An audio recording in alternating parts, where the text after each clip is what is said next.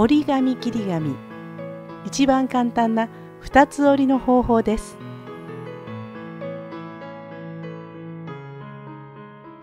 紙を二つに折って切るだけという手軽さです。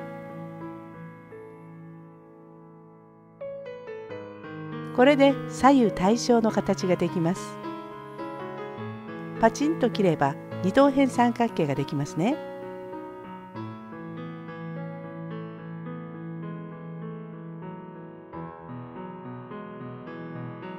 2つによって切る形を変えていくとベルができたり柊ができたり季節やイベントに合わせて楽しむことができます。